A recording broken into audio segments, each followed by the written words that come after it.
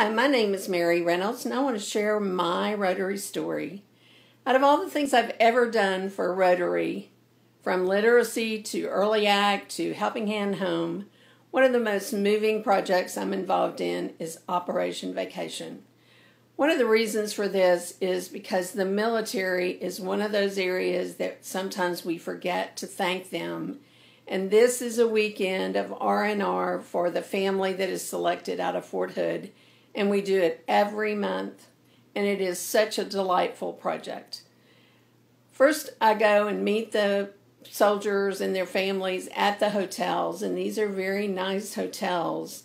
And they're a little shy and a little awkward when they first come in because they're not sure why they're here, why they've been selected, or what's going to be involved in this weekend.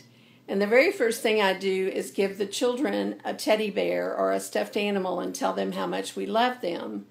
And then I thank the family for their military service and the sacrifices they make for us every day.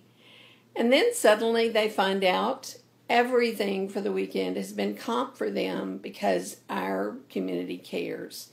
And this is delightful to see them smile and get excited even though they're still a little shy about what's the catch, uh, they're excited that they're going to have quality time with their family and can explore Austin. I think the most moving part of this is the fact that when I walk away, they realize this whole entire weekend is for their families and for them to do whatever they want to do and I just want to tell you that it is the most moving thing I have done because it is a great feeling for Rotary to thank the military for the services they do. So I thank you, Rotary, for giving me my Rotary story.